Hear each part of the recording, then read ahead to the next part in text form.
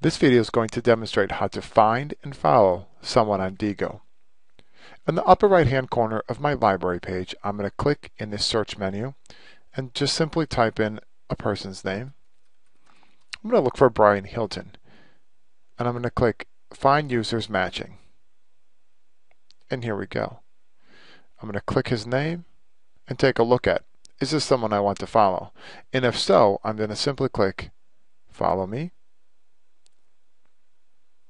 Now what I can do is see who he follows. Maybe I can take a look at. Um, oh, there we go. Maybe like this person here, Sarah Volter. And maybe I want to follow her, so I simply click Follow Me, and you get the process. So very simply, you just search, find the name, and follow the person.